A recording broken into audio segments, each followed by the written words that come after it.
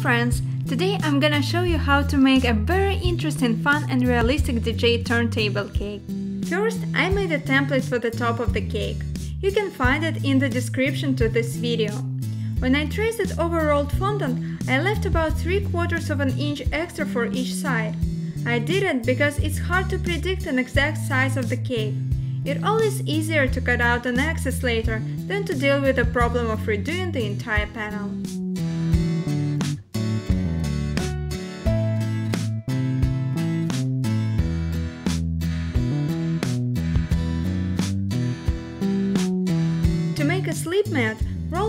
About 1 quarter of an inch and use 6 inches cake board as a template.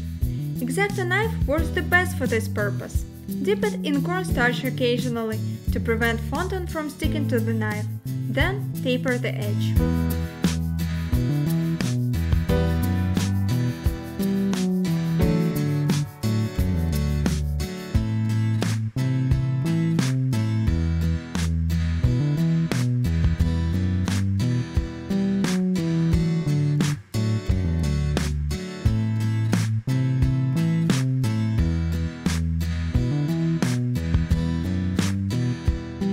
Tip number 5, create middle circle of strobe dots. Then with tip number 2, make 2 more circles of strobe dots from each side of the middle circle. By the way, I enclosed a picture with all the terminology for DJ turntable. It was a whole new word for me, but it was so good to learn what's the correct names for all the details we make for this cake.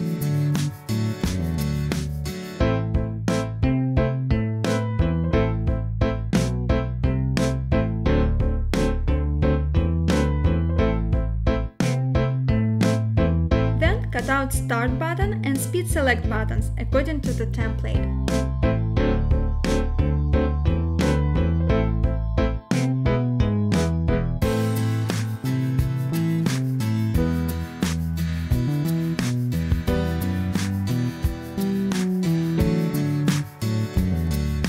For power switch, cut out a 1 inch circle and create a texture to the side of the button by slightly pressing the fondant with an X-Acto knife blade.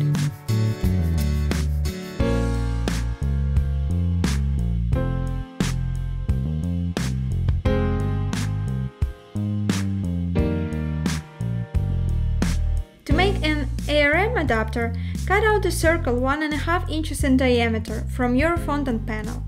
Roll the circle out a little bit and attach it to the same place. It is a great way to create a neat and sharp indentation.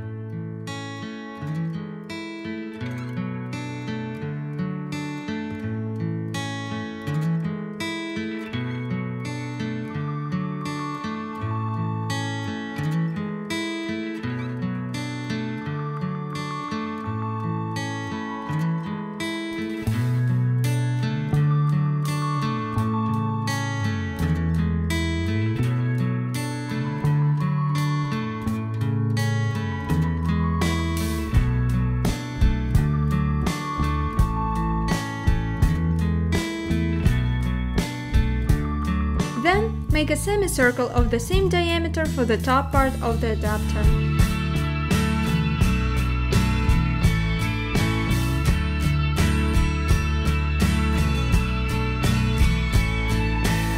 Use the same technique to create a pitch control.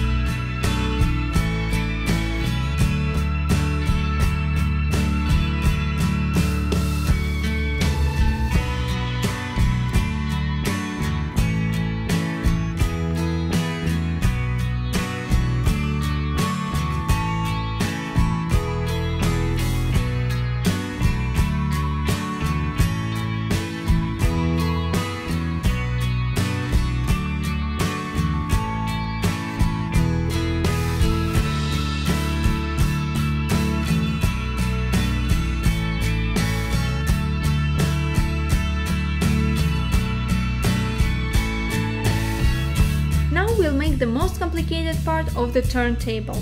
First, make a circle indentation on a panel. Then cut out three circles, 1 and 3 quarters of an inch, 1 and a half inches, and 1 inch in diameter, and sandwich them together.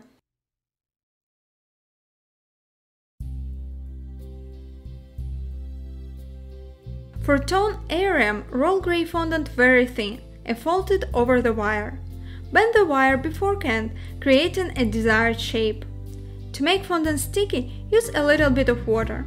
Then, cut out the excess fondant and smooth out the seam. For me, the best way to smooth the seam was to gently roll the piece. It took me a while to figure out how to simplify all the parts attached to the tone arm, so it will not be too overwhelming and difficult to make, but still be a recognizable piece.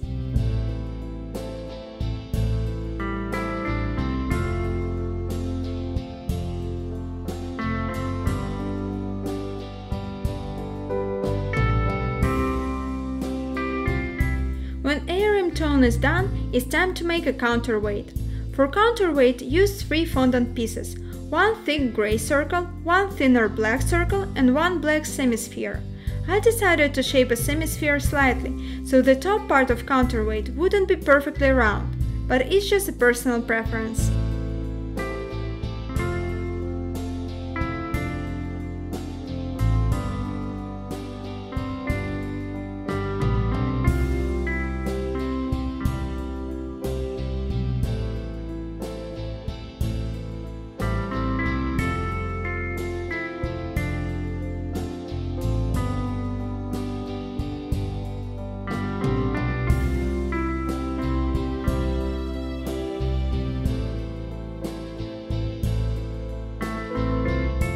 Make a head shell, cut out a fondant piece by using your template and flatten the end followed by the stylus. Then you can add additional details to this piece by using a Dresden tool. But it looks great even without these details. By the way, when you attach your head shell, do not cut a little piece of wire sticking out.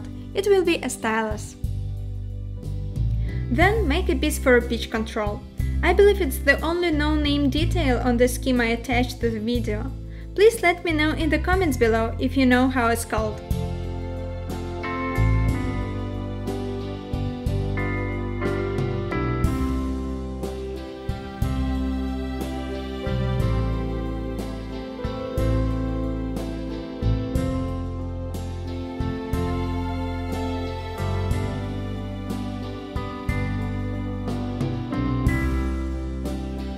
For stylus illuminator, make a fairly thick oval-shaped detail and top it with a little circle.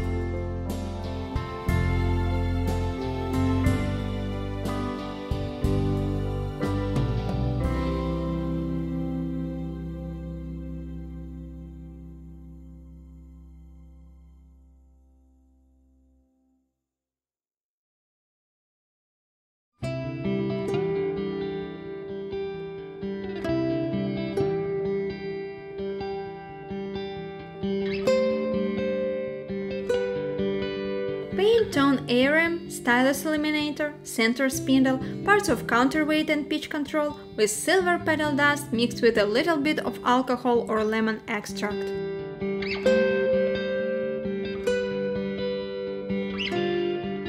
Then make a writing on top of the slip mat and on pitch control with white food coloring. I didn't add any alcohol or lemon extract and used the food coloring as it is, because it will become a little bit translucent over black fondant anyway. When your writing is dry, you might need to write on top of it again, just to brighten it up a little bit more.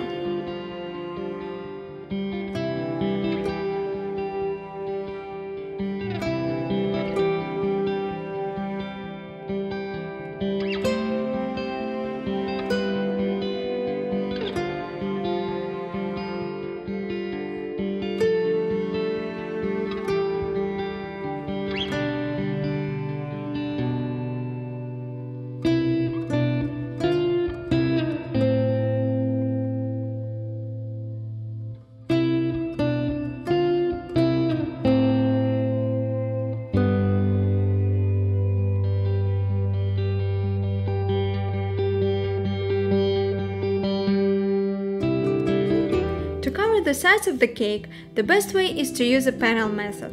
Roll 4 panels of fondant and cut the edges with a big kitchen knife.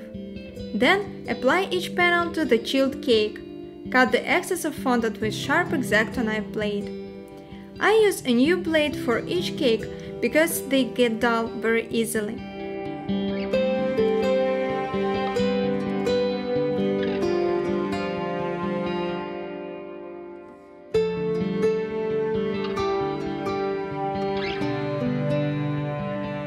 After that, smooth the panels out using a fondant smoothers, paying a lot of attention to the corners.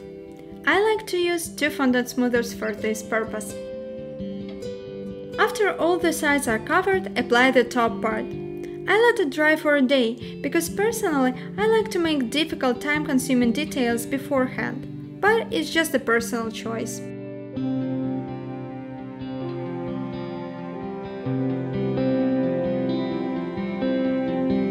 With a wooden knife for clay art, I smooth the edges to eliminate the visibility of the seams and to smooth rough edges after cutting the turntable base. The best material to use for this cake is modeling chocolate. The seams can be smoothed out perfectly and become invisible. It's much easier to cut the excess of chocolate more than fondant and fix any mistakes too. As a final step, use a slightly damp paper towel to remove fondant pieces and cornstarch. If you have a steamer, don't hesitate to use it for shine and perfect look of the cake. That's it! Thank you for watching this tutorial. I hope you found it useful and inspiring. Please leave me comments below, thumbs up and subscribe. See you next time. Bye!